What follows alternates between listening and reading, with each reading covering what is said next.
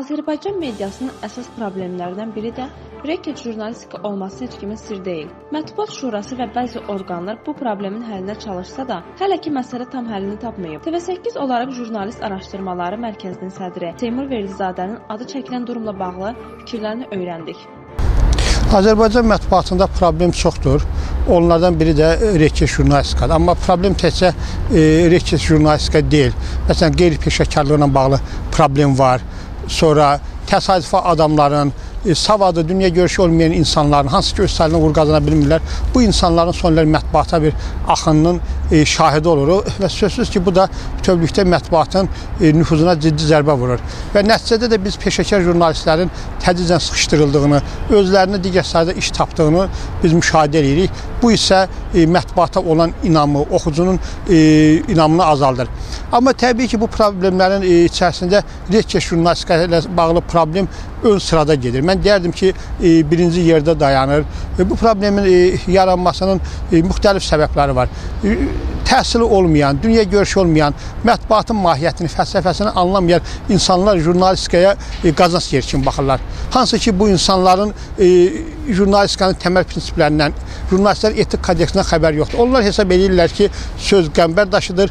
O sözü xoşları gəlmədikləri, bəyənmədikləri adamların başına çırpa bilərlər və kimisə bu dırnaqarası daşlardan e, çox istifadə etməklə, daşların sayını artırmaqla öz məqsədinə nail ola bilərlər. Və bu da e, nəticədə reket jurnalistikasının qol qanad açmasına səbəb olub. Bu hal məni çox e, düşündürür, çox narahat eləyir. Amma reket jurnalistikasına qarşı mübarizə davam edir. Bu mübarizə həmişə aparılıbdır və mən e, bu mübarizədə Azərbaycan Mətbuat Şurasının e, fəaliyyətini müsbət qiymətləndirirəm, təqdir edirəm. Mətbuat Şurasında reket jurnalistika ilə e, mübarizə aparılması iki komissiya mövcuddur və həm şikayətlər komissiyası var, e, digər komissiyada müvafiq olaraq e, regionlardan, ümumiyyətlə müxtəlif e, dövlət qurumlarından, e, məmurlardan, instansiyalardan, iş adamlarından tərəfindən e, gələn şikayətləri araşdırır və Mətbuat Şurasının tərtib elədiyi e, siyahıya indiyə kimi bəlkə də 100-dən çox e, qəzetin saytının adı daxil olubdur. Amma bildiyiniz kimi Mətbuat Şurası bir dövlət qurumu deyil. Mətbuat Şurası qeyri-hökumət təşkilatdır. Mətbuat Şurasının çıxardığı qərarlar ancaq tövsiyə xarakteri daşıyır. Yəni Mətbuat Şurasının heç bir qəzeti, heç bir saytı bağlamaq, hansısa bir mətbu orqanın fəaliyyətini məhdudlaşdırma imkanı yoxdur. Buna görə də bu mübarizə bəzən effekt az olur. Yəni istənilən nəticəni biz istənilən səmərəni əldə edə bilmirik. Buna görə də mən hesab edirəm ki, bu məsələyə hüquq mühafizə orqanları müdaxilə etməlidirlər. Bizim silahımız sözdür. Biz öz silahımızdan təminat sözə istifadə etməliyik. Biz jurnalistlərin heç kimin şərəf və ləyaqətini alçatmağa, heç kimi şantaj etməyə, heç kimlə hədə qorxu dilində danışmağa haqqımız yoxdur. Əgər kimsə e, bu haqqı özündə tapırsa, kimsə öz e, peşə prinsiplərini, jurnalistin etik kodeksini unudub e, ayrı-ayrı vətəndaşlarla, ayrı-ayrı məmurlarla, söhbət təkcə məmurlardan getmir, sənət adamları, yaradıcı insanlar, o cümlədən iş adamları, o cümlədən e, digər e, müstəqil peşə sahibləri də bəzən jurnalistin hüququna məruz qalır. Və əgər kimləsə e, bu yaranmış bu münbit şəraitini istifadə edib hədə qorxu yolu ilə pul qazanırlarsa, bütövlükdə jurnalistikanın adına ləkə gətirilərsə, bu adamlar qanun qaşdı cəza, e, cəzalandırılmalıdır. Hər bir insan öz əməlinə görə cavab verməlidir. E, iş adamları və kiçik belə deyək, məmurlar daha çox bu problemlə üz-üzə qalırlar, amma onlar heç vaxt hüquq mühafizə orqanlarına müraciət etmirlər və e, ümumiyyətlə bu işdə heç maraqlı deyirlər ki, hüquqlarını bərpa etsinlər. Bilirsiniz, e, Azərbaycan Mətbuat Şurası e, nüfuzlu bir qurumdur və Mətbuat Şurası mövcud olduğu üçün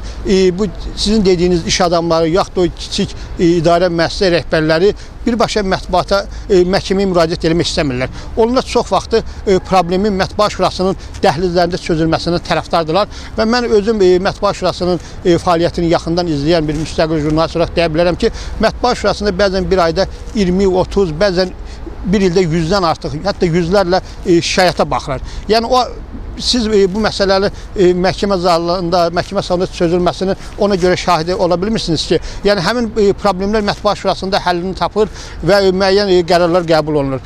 Amma elə e, saytlar və qəzetlər var ki, onlar artıq mətbuat şurasının bu tövsiyə xarakterli qərarlarına e, məhəl qoymurlar və öz e, bədnam əməllərini davam elətdirirlər. Buna görə də həmin insanlar barədə qəti tədbirlər görülür. Mən e, azad fikrin, e, sağlam düşüncənin tərəfdarıyam. Mən hesab edirəm ki, sözü cilovlamaq olmaz. Söz adamı azad olmalıdır. Amma bizim azadlığımız başqalarının azadlığı başladığı yerdə bitir.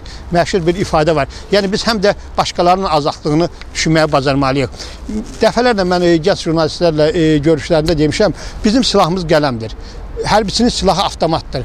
E, Cərrahın silahı bıçaqdır. İndi belə çıxır ki, hərbisi xoşu gəlmədiyi adamı alnının ortasına gülləmə, güllələməlidir. Yaxud bu məntiqlə çıxış etsə, cərrahın kimdən xoş gəlmirsə, onun başını kəsməlidir. Əlindəki silah. Xeyr, bu yol verilməzdir. Biz sözlə təyinat üzrə istifadə elədiyimiz kimi cərrah da öz silahından, dırnaqarası silahından təyinat üzrə istifadə etməlidir. O silahı insanları sağaltmaq, o bədəndə o yaraları, o digər fəsadları aradan qaldırmağa yönəlməlidir. Jurnalist də bunu dərk etməlidir. E, amma e, mən o fikirdəyəm həm də ki, e, gəlin açıq danışaq. Yəni mən həmişə də elə açıq danışmanın tərəfdarı olmuşam.